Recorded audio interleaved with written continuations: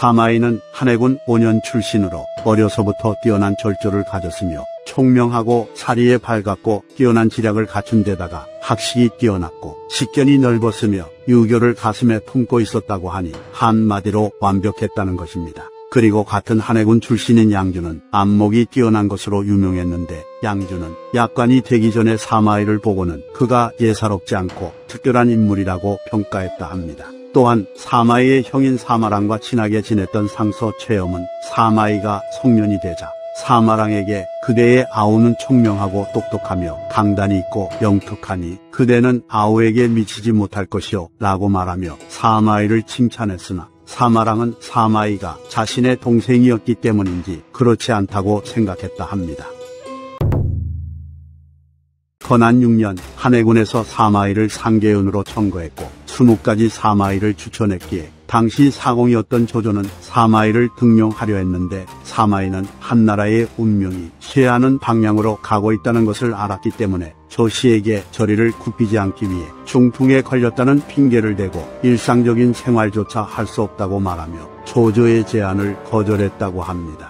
그래서 조조는 밤중에 사람을 보내 사마이가 진짜로 병에 걸렸는지를 은밀히 확인하려 했고 이를 알아챈 사마이는 꼼짝도 하지 않고 누워서 움직이지 않았다고 합니다. 그렇게 사마이는 조조의 눈을 피해 응고하고 있었는데 한 번은 책을 말리기 위해 밖에 두었다가 갑자기 비가 내리는 바람에 자신의 처지를 잊고 직접 책을 거둬들였다고 합니다. 그런데 그것을 집안의 여종 한 명이 목격해버렸고 이에 사마이의 부인이었던 장춘하는 그 여종을 그대로 두었다가는 일이 누설되어 화를 불러일으킬 수 있을 거라 판단하였기에 그 여종을 죽인 다음 직접 집안일을 돌봤다고 하며 이러한 장춘하의 지지 덕분에 사마이는 위험에서 벗어날 수 있었습니다. 하지만 조조는 사마이를 잊지 않았고 건한 13년 승상의 자리에 오르자 다시 사마이를 등용하여 문학연으로 임명하려 했고 이에 사마이는 등용 제의를 또 피하려 했으나 조조의 명령을 가지고 온 관리가 만약 다시 결정을 내리지 못하고 우물쭈물거리면 그대는 감옥에 갇히게 될 것입니다. 라고 말했기에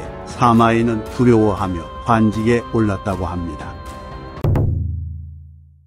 사마이는 안으로는 꺼리는 바가 있어도 겉으로는 관대한 척을 했다고 하며 자기보다 뛰어난 사람을 미워했고 인기응변에 뛰어났다고 합니다. 그리고 조조는 사마이를 살펴보며 그가 용맹스럽고 강한 뜻을 품고 있는 것을 알아챘고 또 그가 난고상이라는 말을 듣고는 사마이를 불러와서 고개를 돌려보게 하니 몸의 움직임 없이 얼굴만 곧바로 뒤를 향했다고 하는데 이처럼 난고상이란 이리처럼 몸을 움직이지 않고 목만 돌려 뒤를 돌아보는 상을 뜻하며 이러한 상을 지닌 사람은 야심이 있어 반역을 일으킬 확률이 높다고 알려져 있었습니다. 또한 조조는 세 마리의 말이 구유에 있는 모기를 먹고 있는 꿈을 꾸었는데 사마시의 많은 말마였고 구유는 조시의 조를 상징했기 때문에 조조는 이 꿈을 매우 꺼림칙하게 여겼다고 합니다. 그래서 조조는 조비에게 사마이는 신하로 남을 사람이 아니니 반드시 너의 집안일에 관여하게 될 것이다 라고 말하며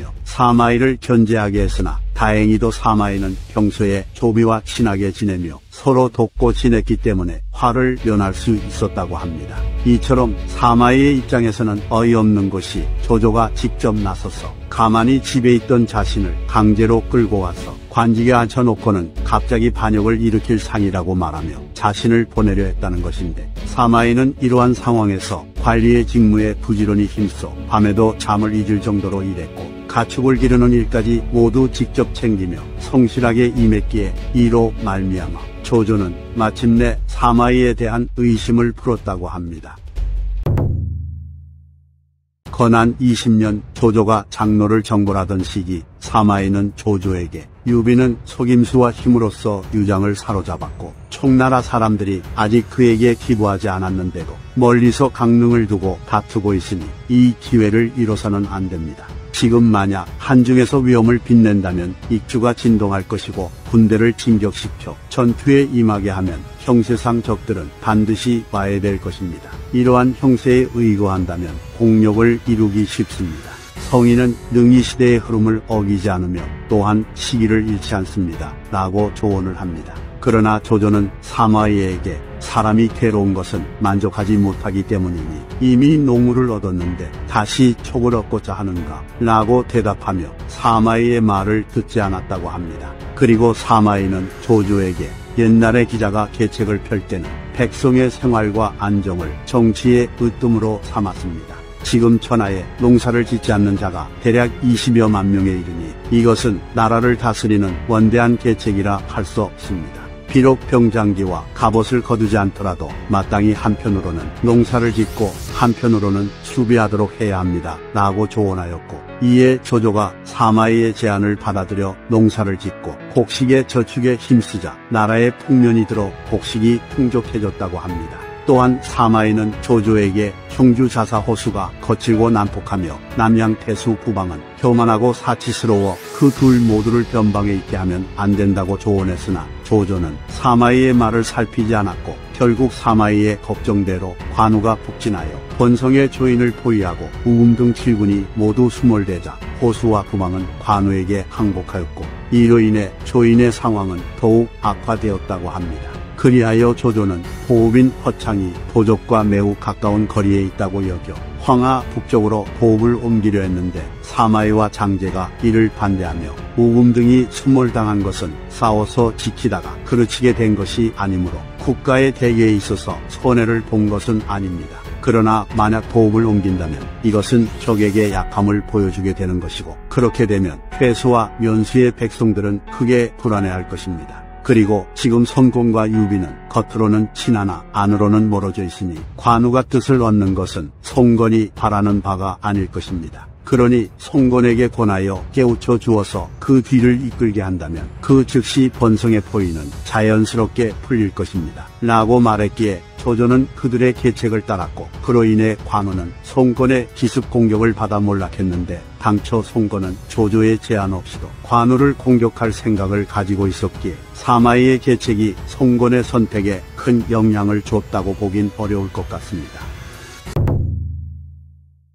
사마이는 처음 관직에 올랐을 때 조비와 함께 곳곳에서 사람들과 교류를 하며 신분을 쌓았고 조비가 태자가 되자 태자 중소자에 임명되어 조비를 수행하였으며 매번 큰 계획에 참가해 그때마다 기발한 계책을 선보였다고 합니다. 그래서 조비는 사마이를 매우 신뢰하였는데 사마이는 진곤, 오질, 주삭과 함께 태자의 내 친구라고 칭해졌다 합니다. 이후 조조가 죽고 조비가 황제의 자리에 오르자 사마이는 상소로 임명되었고 조비의 지지하에 파격적으로 승진하여 황초 2년에는 시중 상서우복야로 승진했다고 합니다. 황초 5년 조비는 군을 일으켜 광릉까지 출병하여 오나라와의 국경에서 군의 위세를 뽐냈는데 조비는 출병하기 전 사마이를 허창에 남겨 그가 후방을 지키게 하였고 그를 상향으로 고쳐 봉하고 무군대 장군 가절로 임명하여 병사 5천 명을 거느리게 하였고 급사중과 녹상서사의 관직까지 더해 주었으나 사마이는 이를 고사했다고 합니다.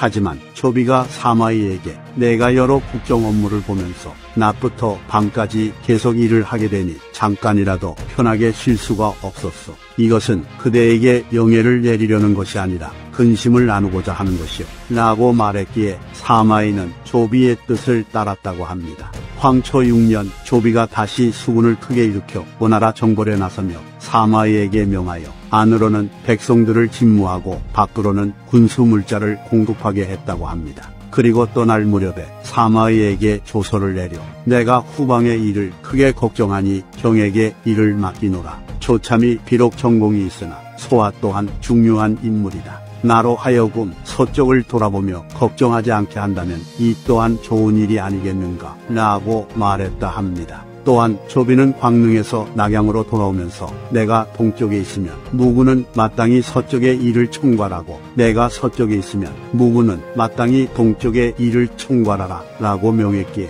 사마이는 허창에 머무르며 수비에 임했다고 합니다. 이처럼 조조에게 순욱이 있었다면 조비에겐 사마이가 있었는데 나중에 조비는 자신의 병환이 깊어지자 사마이와 진군, 조진, 조휴를 불러서 그들에게 유언을 남겨 고갱 대신으로 삼았고 태자였던 조에게 이들과는 틈이 생기더라도 결코 의심하지 말도록 하라 라는 말을 남긴 뒤 눈을 감았다고 합니다. 황초 7년 조비가 죽었다는 소식을 들은 송건은 제갈근과 장패를 보내 양양을 공격했는데 사마이가 직접 군을 이끌고 진격해 오나라 군대를 격파하고 장패를 참수하였으며 천여 명의 적군을 베는 공을 세웠기에 표기대 장군으로 승진했다고 합니다. 태화 원년 조예는 사마이를 완해 주둔케 하고 독형의 이 주재군사로 임명했는데 이는 형주와 예주 지역의 군무를 사마이에게 맡긴 것이었습니다.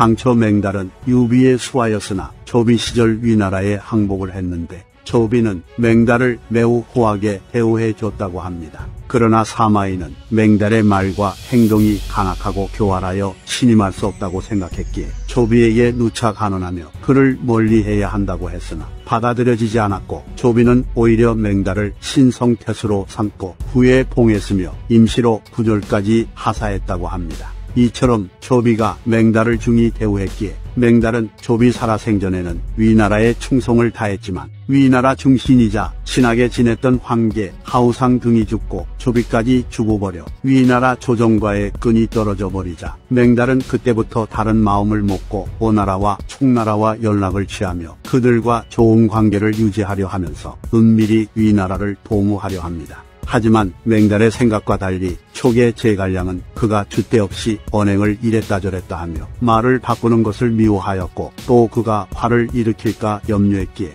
제갈량은 맹달의 거사를 재촉하기 위해 그가 위웅태수 신이와 사이가 좋지 않다는 것을 이용하여 광모라는 인물을 보내 거짓으로 위나라에 항복하게 한 뒤 신이를 찾아가게 해 맹달의 계획을 누설시킵니다. 그래서 이 사실을 알게 된 맹달은 장차 군사를 일으키려 했는데 사마이는 맹달이 빠르게 반란을 일으킬까 두려워하여 그에게 서신을 보내 장군은 과거에 유비를 버리고 위나라의 몸을 위탁하였기에 나라에서는 장군에게 다른 나라의 국경을 맡기고 촉을 도모하는 일도 맡겼는데 가히 매우 솔직하고 올바른 선택이었소. 그리고 총나라 사람들은 어리석은 자나 지혜로운 자 할 것 없이 장군에게 이를 갈면서 분노하지 않는 자가 없었으며 제갈량은 우리를 서로 싸우게 하고 싶어 했으나 오직 방법이 없어 고심할 뿐이었소. 그러니 광모가 한 말이 작은 일이 아닌데 제갈량이 어찌 경솔하게 누설되게 했겠소. 이는 쉽게 알 수 있는 일이오 라고 하며 맹달을 안심시키려 했다고 합니다. 그리고 사마이의 계책대로 맹달은 사마이의 서신을 보고는 크게 기뻐하며 군사를 일으키는 것을 망설였고 쉽게 결단을 내리지 못했다고 합니다.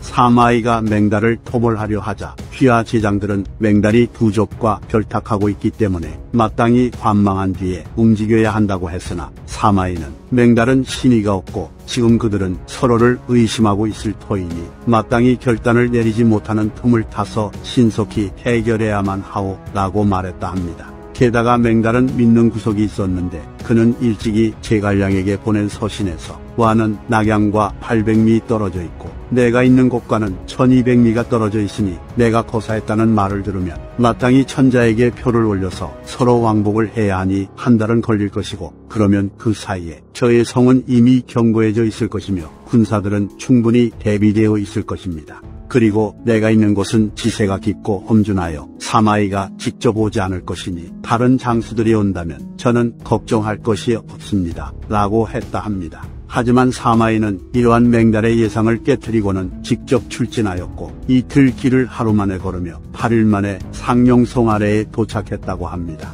그래서 오나라와 총나라는 서성의 안교와 목난세로 지원군을 보내 맹달을 구하고자 했으나 사마이가 휘하 제장들을 보내 이를 저지하니 맹달은 제갈량에게 서신을 보내 제가 거사한 지 8일 만에 그들의 병사들이 성 아래에 이르렀으니 어찌 그리 신속할 수 있는 것입니까? 라고 하며 당황해 했다고 합니다. 그리고 맹달이 있는 상용성은 삼면의 물에 의지했기 때문에 맹달은 성 바깥에 목책을 세워 스스로 경고히 방비했으나 사마이는 군을 진격시켜 물을 건너가 목책을 깨뜨리고는 곧바로 성 아래에 이른 뒤 여덟 갈래 길로 성을 공격했다고 합니다. 그리하여 16일 만에 맹달의 조카인 등용과 장수 이보 등이 성문을 열고 나와 항복했기에 맹달의 반란은 이로써 막을 내렸고 사마이는 맹달을 참수한 뒤 그 목을 수도로 보내고는 1만여 명을 포로로 잡아 승리를 떨친 군대를 거두어 관으로 돌아왔다고 합니다. 사마이는 맹달을 정벌한 뒤 그 지역의 명을 내려 농사일과 뽕나무를 가꾸는 일을 권장하고 쓸데없는 지출을 금하게 했기에 남쪽 땅의 백성들은 매우 기뻐하며 위나라에 기부했다고 합니다. 그리고 반란을 일으켰던 맹달은 제거되었지만 맹달과 적대했던 위흥태수 신이도 문제가 많은 인물이었는데 그는 병영 지역에서 권세를 누렸고 황제의 인장을 임의로 새겨서 많은 사람들에게 관직을 수여하는 짓까지 저질렀으며 맹달이 죽고 나자 의심하는 마음을 품게 되었다고 합니다. 그런데 마침 여러 군수들이 사마이의 승리를 축하하며 예물을 바쳤기에 사마이는 이를 이용해 신의를 불러 직접 자신에게 오도록 했고 신의가 도착하자 그가 자격도 없이 황제의 뜻을 대행한 정황을 신문한 뒤 그를 체포하여 수도로 보냈다고 합니다. 또한 맹달을 따르던 7천여 가를 유주 지역으로 이주시켜 분란의 씨앗을 제거하니 상용 일대에서의 위나라의 영향력은 점차 증가했고 이로 인해 총나라 장수 요정, 정타 등이 휘하 7천여 명을 거느리고 와서 항복을 했다고 합니다. 당시 변방의 군들이 새로이 기부해와 호적에 누락된 인구가 많았기 때문에 위나라 조정에서는 실태 조사를 하려 했다고 합니다. 그래서 조에는 이 일의 적임자가 사마이라 생각하여 그를 수도로 오게 하여 자문을 구했고 이에 사마이는 적들은 법을 엄격하게 하여 백성들을 속박하고 있으니 이것이 백성들이 그들을 버리고 떠나는 이유입니다. 따라서 우리가 마땅히 법을 너그럽게 적용한다면 우리의 백성들은 자연스레 편안하고 즐겁게 살 수 있을 것입니다. 라고 대답했다 합니다. 그리고 조예가 사마이에게 총나라와 오나라 중에서 어느 적을 먼저 포벌해야 하는지를 묻자 사마이는 조예에게 오나라는 우리나라가 수전에 익숙하지 못하다고 생각하여 감히 동관에 흩어져 거주하고 있습니다. 그리고 무르쪽을 공격할 때에는 반드시 그들의 목구멍을 누르고 심장을 찔러야 하는데 하구와 동관이 바로 적의 심장과 목구멍입니다. 그러니 육군은 환성으로 향하게 하여 송건을 동쪽으로 유인한 뒤 수군을 하구로 보내어 그들의 허점을 노려 공격한다면 이것은 신병이 하늘에서 떨어져 내리는 것과 같이 되니 적을 반드시 격파할 수 있습니다. 라고 말하며 원나라를 공격하라 조언해 주었고 이에 조에는 사마이의 말이 옳다고 여기며 그를 다시 완성에 주둔케 하여 전쟁 준비를 하게 했다고 합니다. 태와 2년 조예는 명을 내려 사마이에게는 한수를 따라 진격하게 하고 조휴는 심량으로 진격하게 했는데 조휴는 주방의 거짓 항복에 넘어가 적진 깊숙이 들어갔다가 석정에서 육선에게 대패하였기에 사마이는 할 수 없이 퇴각한 것으로 보입니다. 태화 4년 대장군으로 임명된 사마이는 조예의 명을 받아 조진과 함께 촉정벌에 나섰는데 조진과 장합은 각각 야곡과 자오도를 따라 남쪽으로 진격하였고 사마이는 서성에서부터 산의 나무를 베어가며 길을 내고 아울러 물과 무트로도 진격하며 한수를 거슬러 올라갔는데 사마이와 조진의 군대는 남정에서 합류하기로 계획을 세웠다고 합니다. 하지만 갑자기 폭우가 내려 한수가 범람하고 잔도까지 끊기는 사태가 터졌기에 조예는 조진과 사마이에게 퇴각하라는 명을 내렸다고 합니다. 이처럼 사마이와 제갈량의 첫 전투는 사마이가 공격, 제갈량이 수비의 입장이었고 폭우로 인해 결착을 짓지 못한 채 흐지부지 되었습니다. 그리고 태화 5년에 조진이 병에 걸려 죽었기에 사마이가 대촉전선의 지휘관이 되었고 이에 사마이와 제갈량의 대결이 재차 확정됩니다.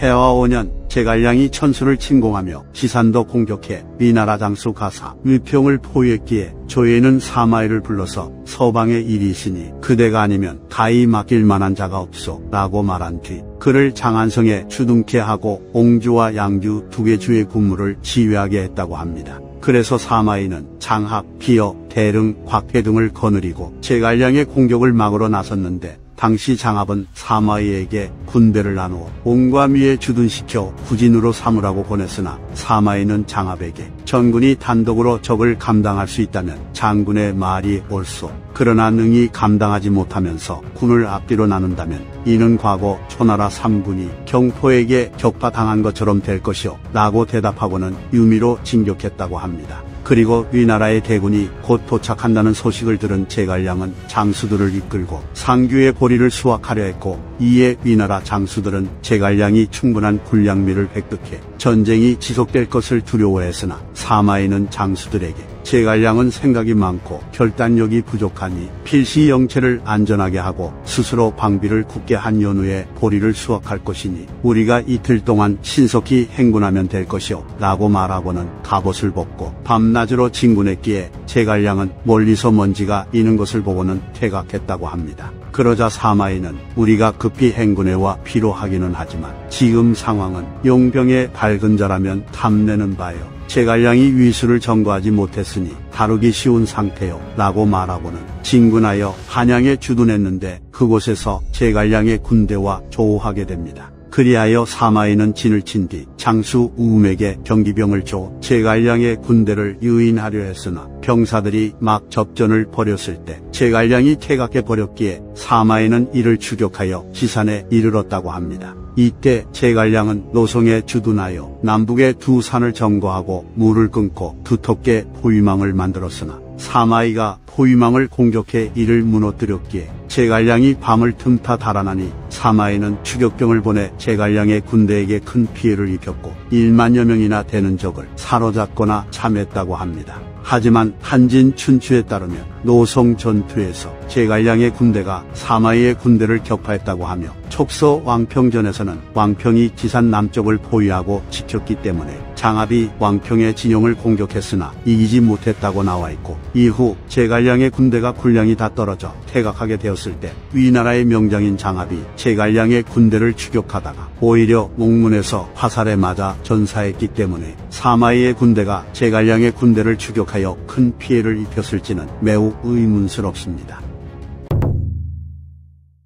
군사 두습과 복군 설제가 사마이를 찾아와서 내년에 보리가 익으면 또다시 제갈량이 침공해 올 것인데 농무에는 곡식이 없으니 마땅히 겨울 동안에 미리 옮겨 놓아야 한다고 말했으나 사마이는 그들에게 제갈량은 지산으로 두 번 출병하고 진창을 한 번 공격했다가 꺾이고 돌아갔어. 설령 그가 이후에 출병한다고 하더라도 다시는 공성전을 치르지 않을 것이고 응당 야전을 바랄 것이니 전투는 반드시 농동에서 일어날 것이고 농서에서는 일어나지 않을 것이요. 제갈량은 늘 군량이 부족한 것을 한스러워했으니 돌아가서는 필시 곡식을 비축할 것이므로 내가 헤아려 보건대 3년 안에는 움직이지 않을 것이요. 라고 답했다 합니다. 그리고 사마이는 표를 올려 기주의 농부를 양주로 옮겨 상규 일대를 경작하게 하고 경저, 천수, 남한 등의 대장장이를 관리로 두어 무기를 만들게 했다고 합니다. 청룡 원년 사마이는 성국고를 뚫고 인진피를 쌓아 수천 경의 농지에 물을 대게 하여 나라를 풍족하게 했고 군용에는 시장을 설치해 운용했다고 합니다.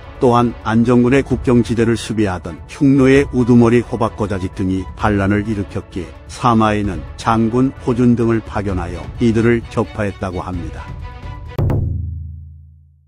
청령 2년 군대를 재정비한 제갈량이 군사 10만여 명을 이끌고 야곡을 통해 진격해와 미 땅 위수 남쪽 평원에 보루를 쌓았기에 조예는 이를 우려하며 신랑에게 복이 2만 명을 주어 사마이를 지원하게 합니다. 당시 위나라 장수들은 사마이에게 위수 북쪽에 주둔하여 적을 막자고 말했으나 사마이는 그들에게 백성들이 모두 위수 남쪽에 거주를 하니 이것이 우리가 반드시 다투어야 할 것이요 라고 대답하고는 위수를 건너 물을 뒤로 한 채 보루를 쌓았다고 합니다. 그리고는 장수들에게 제갈량이 만약 용감한 자라면 마땅히 무공으로 나와서 산을 의지하여 동쪽으로 나아갈 것이요. 그러나 만약 서쪽으로 가서 오장원에 이른다면 제군들은 무사할 것이요. 라고 말했는데 제갈량은 오장원에 주둔하였고 장차 위수를 건너 북쪽으로 진격하려 했다고 합니다. 그리고 제갈량이 병력을 과시하면서 서쪽으로 진군하였기에 모든 장수들이 서쪽으로 가서 제갈량의 공격을 막아야 한다고 했지만 오직 곽해만은 제갈량이 서쪽으로 진군하는 척을 하며 동쪽의 양수를 공격할 거라고 말합니다.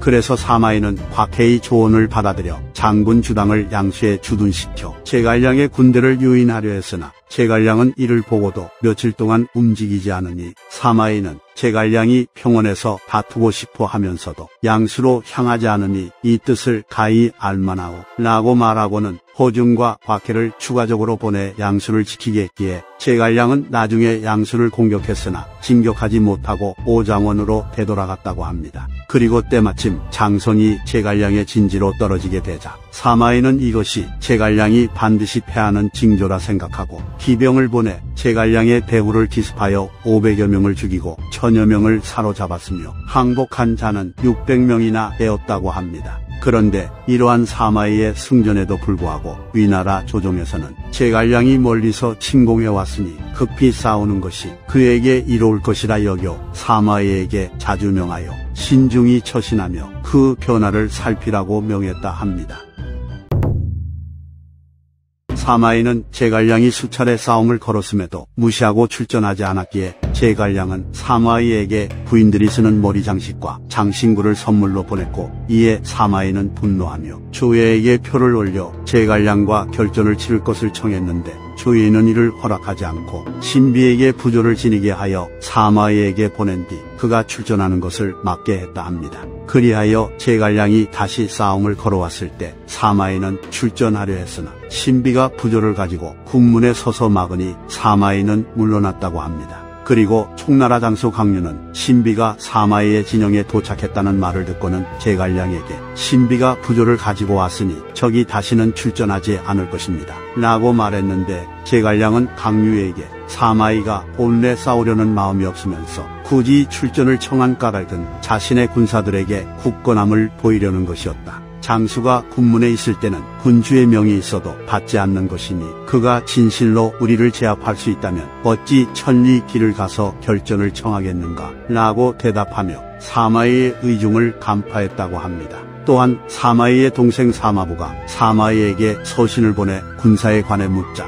사마이는 제갈량은 큰 뜻이 있으나 기회를 살피지 못하고 계책은 많으나 결단력이 부족하고 용병을 좋아하나 임기응변이 없으니 비록 10만 군사를 이끈다 할지라도 나의 계책 속으로 떨어질 뿐이며 반드시 무너지게 될 것이다 라고 답하며 자신만만했다고 합니다. 이와 같이 사마이는 굳게 지키며 제갈량과 싸우지 않았기에 제갈량은 사마이와 대치한 지 100여일 만에 질병으로 눈을 감았고 이에 총나라 장수들이 진영을 불태우며 대각하자 이를 알아챈 사마이는 제갈량의 군대를 추격했다고 합니다. 하지만 제갈량의 장사인 양이가 궁기를 돌리고 북을 쳐 울리며 사마이와 맞서려고 했기에 사마이는 궁지에 몰린 적을 함부로 공격하면 안 된다고 생각하고는 추격을 멈추고 물러났고 이에 양이는 그 틈을 타 진영을 유지한 채로 퇴각했다고 합니다.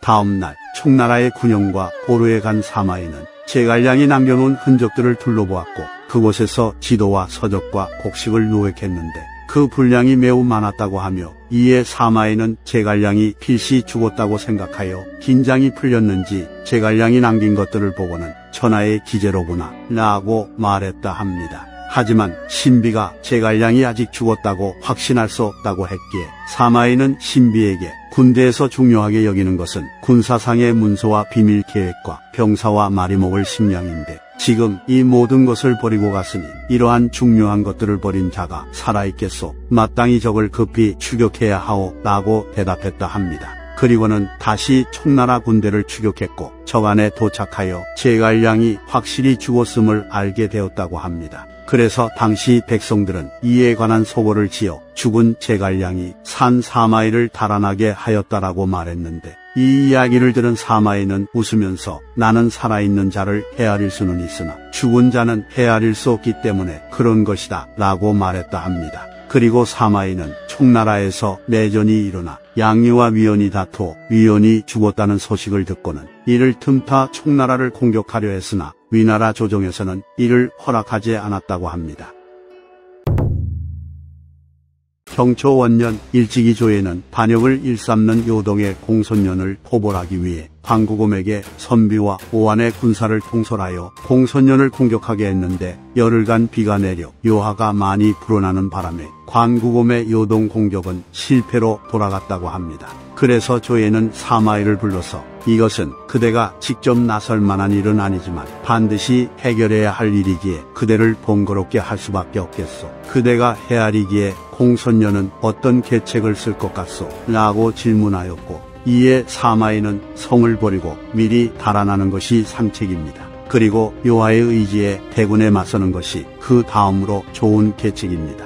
그러나 만약 앉아서 양평을 지키려 한다면 사로잡히게 될 뿐입니다. 라고 대답했다 합니다. 그러자 조예는 재차 사마이에게 공손녀는 그 계책 중에 장차 어떤 것을 쓸 것 같소? 라고 물었고 이에 사마이는 조예에게 오직 현명한 자만이 능히 자신과 상대방의 역량을 깊이 헤아려 미리 포기할 수 있으나 이는 공손년에게 미치는 바가 아닙니다. 이제 우리의 군사로 정보를 나서면 공손녀는 우리가 먼 길을 오느라 오래 버틸 수 없으리라 여겨 여하에서 먼저 맞선 뒤 물러나 양평을 지킬 것이니 이는 중책과 하책을 뜻합니다. 라고 말합니다. 그리고 조예가 사마이에게 갔다가 돌아오는데 얼마나 걸리겠소? 라고 물으니 사마이는 가는 시간이 100일, 돌아오는 시간이 100일, 공격하는 시간이 100일이 걸리며 휴식하는 시간을 60일로 잡으면 1년이면 족합니다. 라고 대답했다 합니다.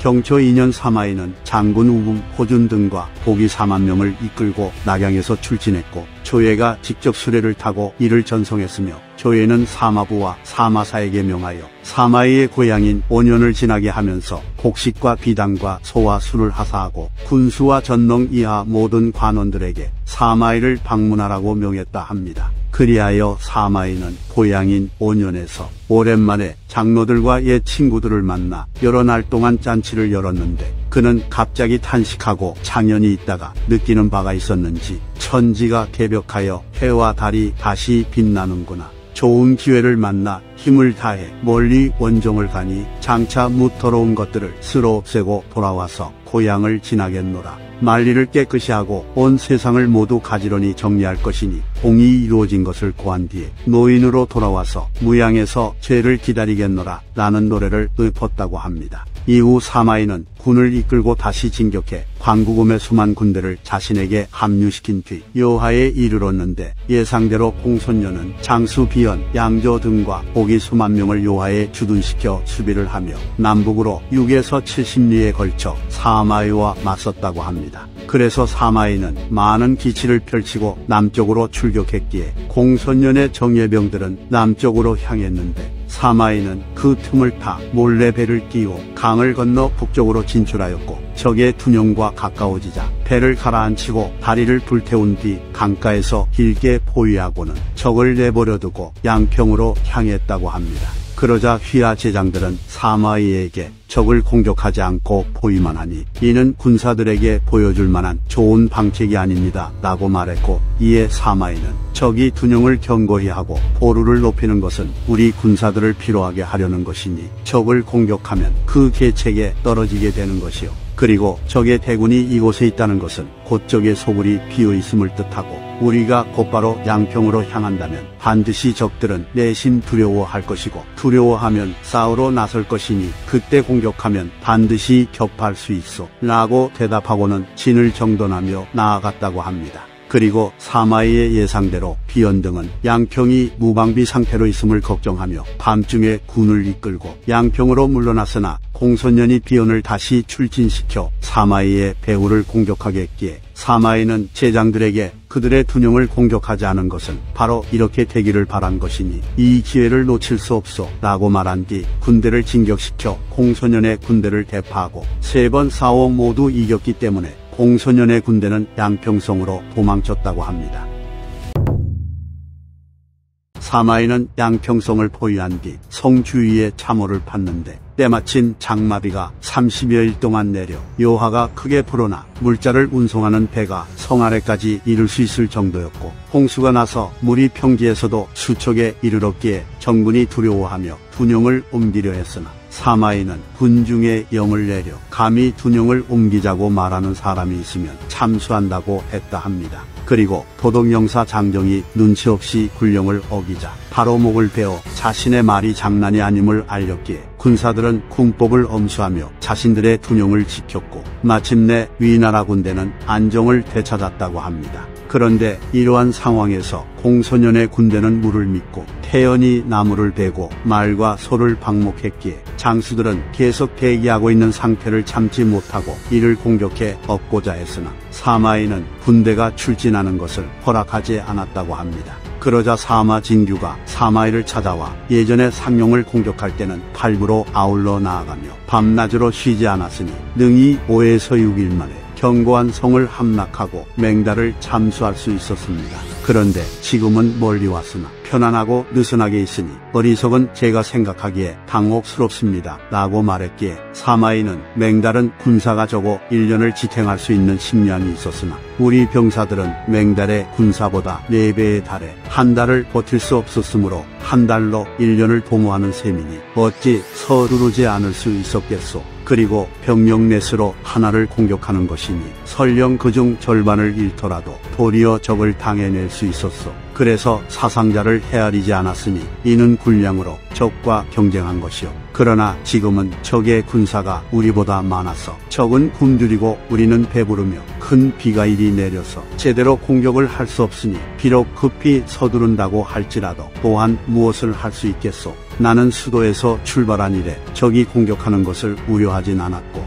오직 적이 달아나는 것만 걱정했소. 지금 적의 군량이 거의 소진되었고 우리의 포위망이 아직 완성되지 않았는데 적의 우마를 약탈하고 뗄나무를 채취하는 것을 노력질한다면 이는 그들을 내몰아 달아나게 하는 것이요. 무릇 병법은 궤도이고 일의 변화에 잘 대처해야 하오. 적은 그들의 병사의 수가 많은 것과 비가 오는 것을 믿고 있으므로 비록 굶주리고 공공할지라도 아직 손을 묶고 항복하려 들지 않으니 우리는 마땅히 무능함을 보여서 그들을 안심시켜야 하오. 작은 이익을 취하기 위해 적들을 놀라게 하는 것은 좋은 계책이 아니오 라고 답변했다 합니다. 또한 이때 당시 조정에서는 사마이의 군대가 비를 만났다는 소식을 듣고는 군대를 물려야 한다고 했으나 조예가 사마이는 위기에 처해도 변화를 제어할 수 있으니 오래지 않아 공손년을 붙잡아 올 것이오 라고 말하며 사마이를 믿어줬다고 합니다.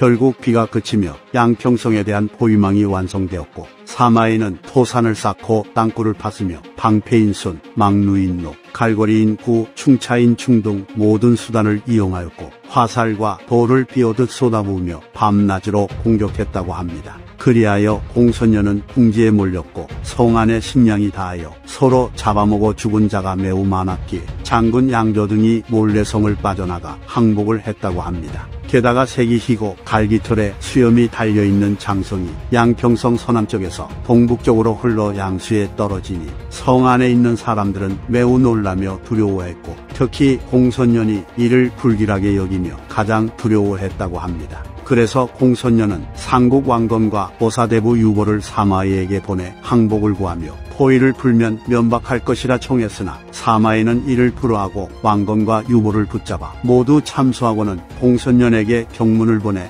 옛날 초나라와 정나라는 국력이 대등하였으나 정나라의 정백은 도리어 우통을 벗고 양을 끌며 초나라군을 영접했다. 나는 왕의 신하이며 지위가 상공인데 왕건 등은 나에게 포위를 풀고 물러나라고 요구하니 어찌 초나라와 정나라의 전례를 따른 것인가. 그대가 보낸 두 사람이 늙고 정신이 가물가물하여 필시 그대의 말을 전하며 본래의 뜻을 그르쳤다 생각하기에 그대를 위해 그들을 모두 죽였노라. 만일 할 말이 더 남아있다면 가히 분명하게 판단할 수 있는 젊은 사람을 다시 보내도록 하라 라고 엄포를 놓습니다. 이에 공소년은 다시 시중 위원을 파견하여 볼모를 보내겠다고 청하였으나 사마이는 위원에게 군사의 대략적인 요지에는 다섯 가지가 있으니 싸울 수 있으면 싸우고 싸울 수 없으면 지키고 지킬 수 없으면 달아나는 것이고 나머지 두 가지는 오직 항복하거나 죽는 것뿐이다. 그런데 너희는 면박하지 않으려 하니 이는 죽음을 각오한 것일터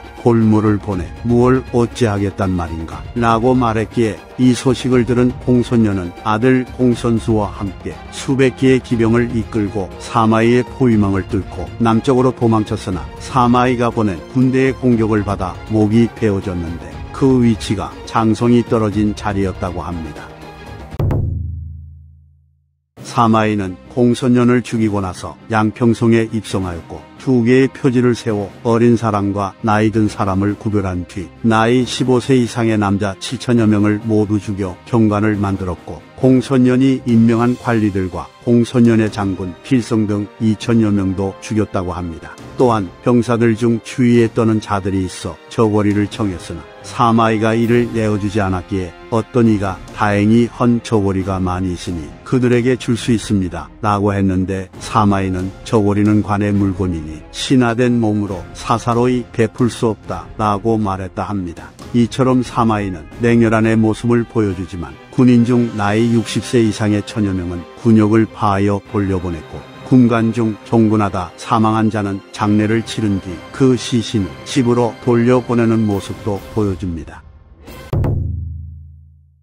당초 사마이가 양평에 이르렀을 때 꿈을 꾸었는데 조예가 자신의 무릎을 빼고 누워서는 내 얼굴을 보시오 라고 말했기에 고개를 숙여보니 평소와 다른 점이 있었던 터라 사마이는 그 꿈을 내심 거림칙하게 여겼다고 합니다. 이후 사마이는 공선년을 토벌한 뒤 양평에서 돌아오고 있었는데 처음에는 지름길로 가서 관중을 진무하라는 명을 받았으나 곧이어 사마이를 수도로 소환하는 조서가 사흘 사이에 다섯 번이나 왔다고 하며 그 조서는 조예가 직접 쓴 조서로 그간 두렵고 불안해하며 그대가 도착하기를 기다리고 있으니 도착하거든 곧바로 한문을 밀치고 들어와 나를 보러 오도록 하시오 라고 적혀 있었다 합니다. 그래서 사마이는 크게 두려워하며 추봉거를 타고 밤낮 을 가리지 않고 400열이나 되는 길을 달려 하룻밤만 묵은 뒤 수도에 도착했다고 합니다. 그리하여 사마이는 조예가 있는 궁전의 침실 안으로 인도되어 임금의 침상에 올랐고 눈물을 흘리며 조예의 병세에 관해 물으니 조예는 사마이의 손을 잡고 조방을 눈으로 가리키며 이로써 후사를 그대에게 맡기려고 하오. 내가 죽으려는 것을 겨우 견디며 차마 죽지 못한 것은 그대를 기다렸기 때문인데 이제 서로 만났으니 아무런 여한이 없소이다 라고 말한 뒤 눈을 감았는데 위략에 따르면 사마이는 폐하께서는 선제께서 신께 폐하를 부탁한 것을 보지 못하셨습니까? 라고 대답하며 조예의 뜻을 제대로 받들겠다고 말했다 합니다. 그리고 사마이의 곁에는 조진의 아들인 조상도 있었기에 사마이와 조상이 함께 조예의 유조를 받아 어린 황제인 조방을 보좌하게 되었으나 조상은 황족에다가 조진의 아들이라는 것을 제외하면 경험이 부족한 애송이에 불과했기 때문에 사실상 사마이가 황제를 보좌하여 국가의 대사를 총괄하게 된 거나 마찬가지였습니다. 경초 3년 조방이 제위에 오르자 사마이는 시중지절 도독 중외제군 녹상서사의 자리에 올라 조상과 함께 각기 군사 3천명을 통솔하며 함께 조정을 관장하고 대궐 안에서 번갈아 숙직하며 수레를 탄 채로 궁궐에 들어올 수 있었다고 합니다. 게다가 오전에 들어올 때 종종 걸음을 하지 않아도 되는 입전불추, 임금을 아련할 때 호명을 하지 않아도 되는 참배불명, 어전에 오를 때 칼을 차고 신발을 신어도 되는 검리상전의 특혜를 받으니 이는 한나라 때 소아의 전례와 같았다고 합니다. 그리고 사마이의 여러 자제들을 여루로 봉하고 기도위로 삼으려 했으나 사마이는 이를 굳게 사양하며 자제들의 관직은 받지 않았다고 합니다. 사마이는 자신이 조정을 주도할 수 있었으나 조상을 배려하며 그와 함께 일을 하려 했는데 이와 달리 조상은 홀로 권력을 잡고 싶었기 때문인지 자신의 측근 중 한 명이었던 정밀의 계책을 받아들인 뒤 조방에게 표를 올려서 태위였던 사마이가 태부로 임명되도록 일을 꾸몄다고 합니다. 이는 겉으로는 사마이를 존중하여 더 높은 직책에 앉히는 것이었으나 실제로는 사마이를 명예직인 태부에 있게 하여 권력에서 멀어지게 하는 것이었고 이로써 조상은 상소에서 주관하는 주사를 자신을 통해서만 행해지게 하여 사실상 권력을 독차지하게 됩니다. 그리고 보통 사마이가 태부가 되면서 모든 업무에서 손을 놓고 귓방 늙은이가 된 것으로 알려져 있지만 그것은 사실이 아니며 오히려 사마이는 조예 시절 때 만들어 놓은 사치품들을 모두 제거하여 비용을 절약해야 한다고 상주하며 조정의 일에 관여하는 모습을 보여줍니다.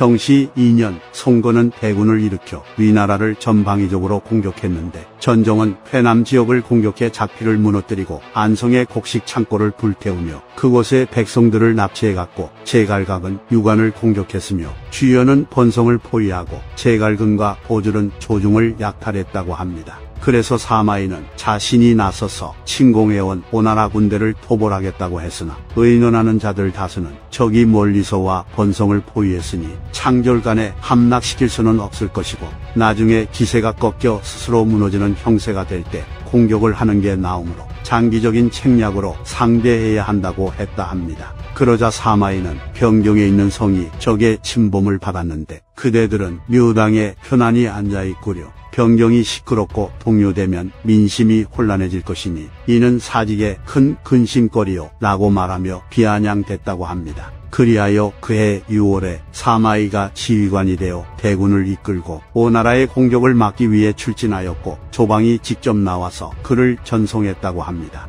이후 번성에 도착한 사마이는 남쪽 지방이 덥고 습기가 많아 시간을 오래 끌어서는 안 된다고 생각했기에 가볍게 무장한 기병으로 싸움을 걸었으나 주연은 방어만 했다고 합니다. 그래서 사마이는 군사들을 쉬게 하며 정예를 뽑고 선봉대를 모집하여 적을 반드시 격파하겠다는 태세를 보여줬기에 주연의 군대는 밤중에 퇴각을 했고 사마이는 이를 놓치지 않고 추격하여 만여 명을 베고 수많은 배와 군수 물자를 거두고 돌아왔다고 합니다. 이와 같은 공으로 사마이의 시급은 1만호가 되었고 자제 11명 모두가 여루로 봉해지며 사마이의 공로와 덕은 날로 높아졌으나 그는 오히려 더욱 겸손하고 공손하게 처신했다고 합니다.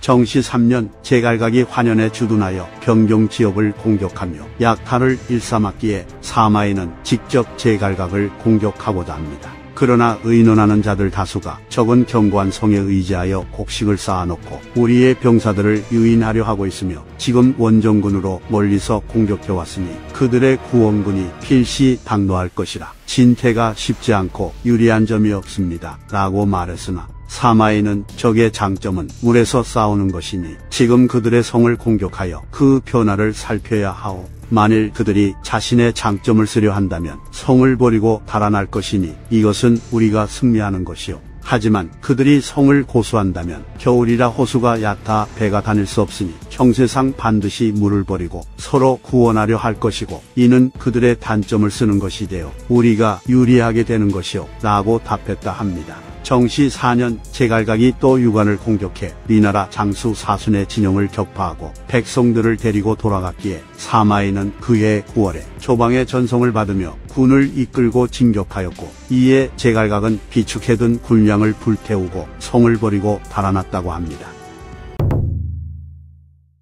사마이가 계속해서 전공을 세우자 조상 일파인 등양, 이승 등은 조상의 위명을 높여야 한다고 생각했는지 조상에게 촉을 토벌하라 권했고 이에 조상은 총나라를 정벌할 계획을 세웠다고 합니다. 하지만 사마에는 총나라를 정벌한 경험이 있었기에 이를 반대했으나 막을 수 없었고 결국 정시 5년 조상은 6에서 7만의 대군을 이끌고 낙곡을 따라 진격했다고 합니다. 그러나 촉의 험난한 지세와 총나라 장수 왕평의 활약으로 인해 조상의 군대는 진격조차 하지 못하고 큰 피해를 입은 채로 퇴각하였고 한진 춘추에 따르면 관서 지역이 텅텅 빌 지경에 이를 정도로 심각한 타격을 입었다고 합니다. 정시 6년 조상이 중루 중견영을 없애고 그 군사들을 자신의 동생인 조희에게 속하게 했는데 사마이는 전대 황제 때부터 내려온 오랜 제도라 하여 이를 제재하려 했으나 막을 수 없었다고 합니다. 정시 7년 주연이 조중 지역을 침공하여 위나라 병사 천여 명의 머리를 빼고 백성들을 포로로 잡아갔기에 이민족과 위나라 백성 마녀가가 오나라의 공격을 피해 면수를 건너왔다고 합니다. 그래서 사마이는 면수 이남이 적과 가까움으로 만일 백성들을 되돌려 보낸다면 반드시 침공을 받게 될 것이기 때문에 마땅히 피난온 백성들을 임시로 면수 이북에 머물게 해야 한다고 말했으나 조상은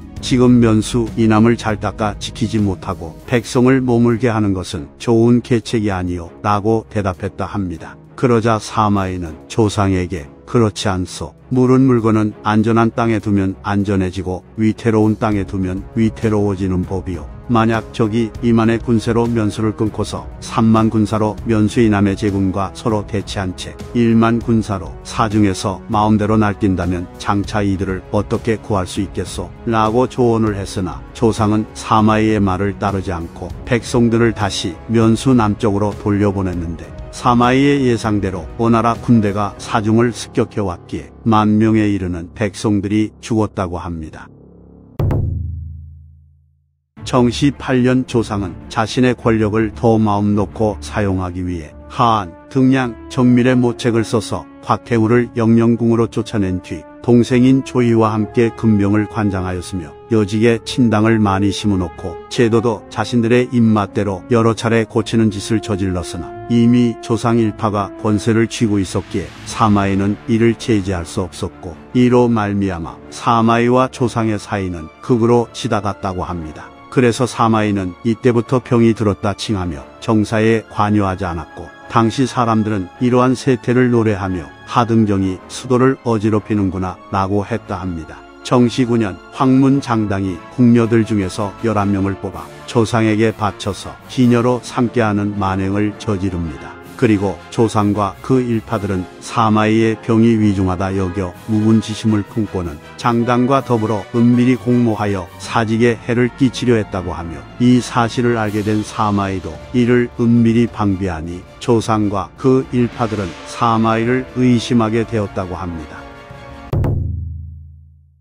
때마침 조상 일파 중 한 명인 이승이 형주 자사로 부임했기에 그는 사마이에게 인사를 하러 왔다는 핑계를 대고 사마이의 집에 들러 그의 동태를 살피려 했다고 합니다. 이에 사마이는 병이 깊은 것처럼 속이기 위해 두 명의 여종에게 시중을 들게 하고 옷을 잡고 있었으나 옷자락이 땅에 끌렸다고 합니다. 그리고 입을 가리키며 목이 마르다 하여 여종이 죽을 올렸는데 사마이는 죽그릇을 제대로 잡지도 못했고 죽이 모두 흘러 가슴자락을 적셨다고 합니다. 그래서 이승은 이것을 지켜보다가 사마이에게 많은 이들이 명공께서 예전에 걸렸던 중풍이 재발했다고 하더니 전체가 이 지경일 줄은 어찌 짐작했겠습니까? 라고 말하니 사마이는 숨을 헐떡이며 내가 늙고 병들어 죽을 날이 아침 저녁에 닥쳤소. 그대가 병주에 가게 되었다고 들었는데 병주는 흉노와 가까우니 잘 방비하도록 하시오. 그리고 그대를 다시 못 볼 것 같아 두려워서 하는 말인데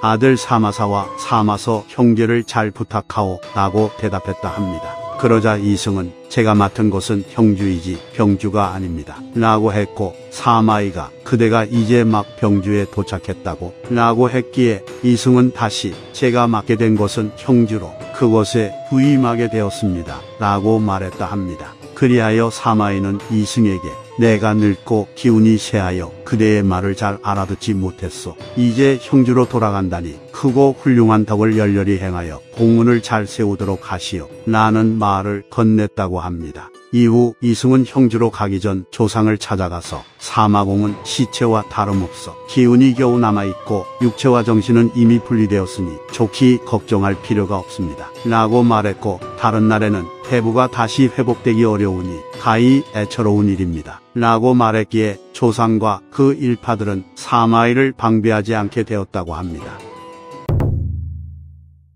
가평 원년 조방이 고평릉을 참배하러 가게 되자 조상 조희 형제와 그 일파도 조방을 따라 나섰기에 수도는 통 비게 되었고 이에 사마이는 먼저 영령궁에 있는 곽태우에게 상주하여 조상 형제를 파면하도록 했다고 합니다. 이렇게 곽태우의 지원을 등에 업은 사마이는 병마를 이끌고 무기고를 점거하였고 사도 고유에게 부조를 내려 대장군의 사무를 대행해 조상의 영을 거느리게 하며 그대가 바로 주발이요 라고 말했는데 주발은 한나라의 건국 공신으로 전행을 일삼았던 외척인 여시 일족을 제거하는 공을 세운 인물이었습니다. 그리고 태복 왕관에게는 중령군의 직을 대행해 초희의 영을 관장하도록 하여 군을 완전히 장악한 다음 직접 태위 장제 등과 함께 군대를 거느리고 진격해 낙수 부교에 주둔하여 황제인 조방을 영접하려 했다고 합니다. 또한 사마이는 조방에게 상주하여 선제께서는 신등을 불러 뒤일을 염려한다고 하셨습니다. 그러나 지금 대장군 조상은 고명을 저버리고 나라의 제도를 어지럽히니 안으로는 분수에 넘치게 윗사람과 견주고 있으며 밖으로는 위엄과 권력을 남용하고 있습니다.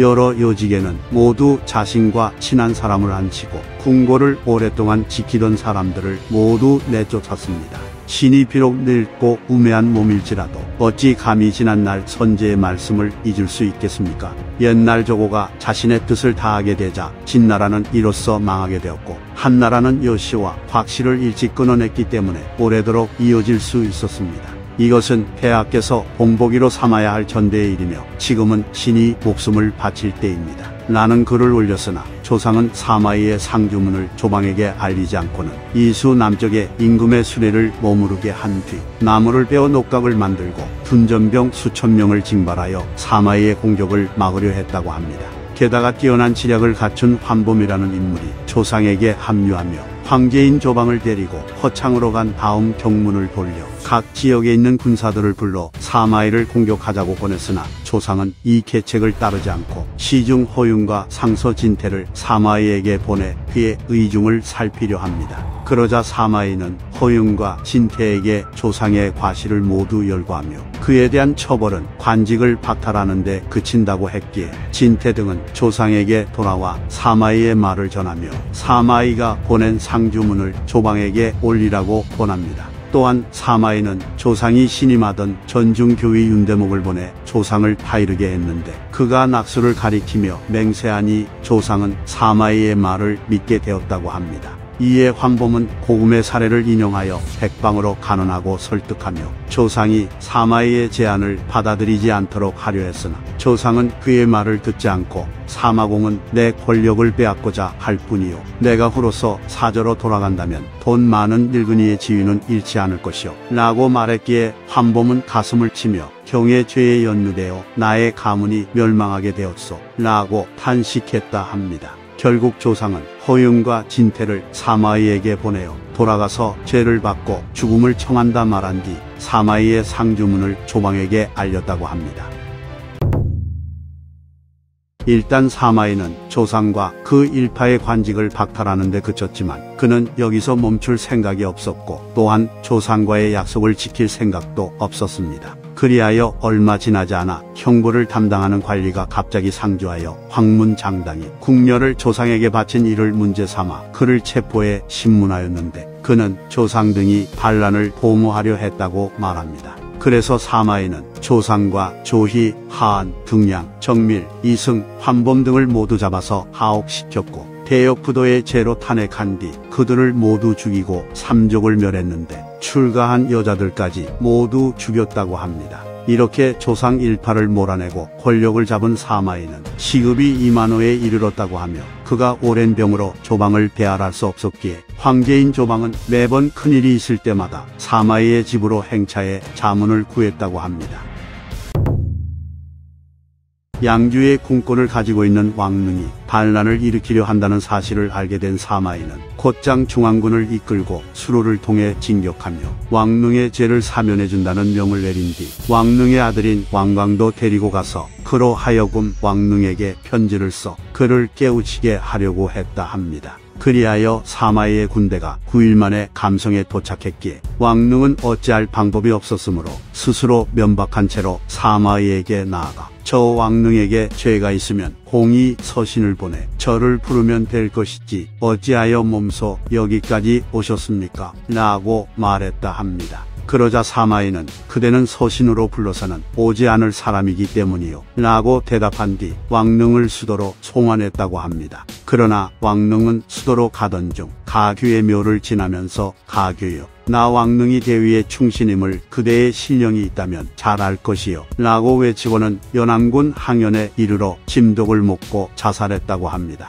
상황이 이렇게 되자 사마이는 곧바로 왕릉의 일당들을 체포해 모두 삼족을 멸했고 그가 황제로 추대하려 했던 초왕 조표도 죽인 다음 위나라의 여러 왕공들을 붙잡아 업에 가두어 이들을 감시하게 했고 서로 교류도 하지 못하게 했다고 합니다.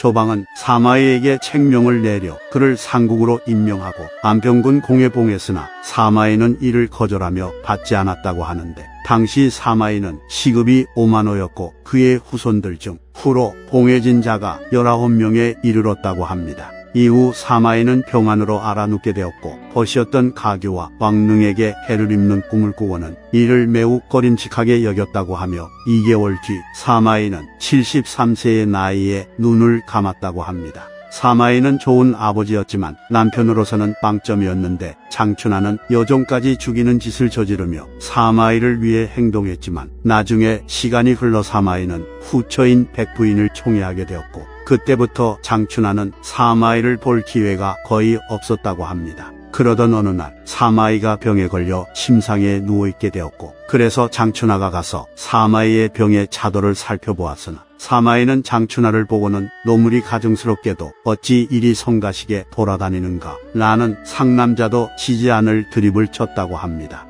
그리하여 장춘하는 너무 부끄럽고 한스러워서 식음을 전폐하며 자살하려 하였고 이 때문에 사마사와 사마서 등도 어머니인 장춘하를 따라 음식을 먹지 않았다고 합니다. 이에 사마이는 깜짝 놀라며 장춘하에게 사과를 하니 장춘하는 금식을 그만두었다고 하며 사마이는 물러나서는 주변 사람들에게 노물은 소중하지 않지만 나의 사랑하는 아이들이 괴로움을 겪는 것을 걱정했기 때문에 그랬을 뿐이다 라고 말했다 합니다. 신기하게도 사마이를 추천하고 칭찬했던 인물들은 모두 곱게 죽지 못하는데 순욱, 최염, 양준이 이들로 순욱과 최염은 사실상 조조에 의해 죽게 되었고 양준이라는 인물은 조비에 의해 죽게 되었는데 이들의 또 다른 공통점은 모두 자살했다는 것입니다. 참고로 사마이는 조비가 양준을 죽이려 하자 피를 흘릴 정도로 머리를 조아리며 양준을 구하려 했다고 하는데 그럼에도 조비는 양준을 용서하지 않았다고 합니다.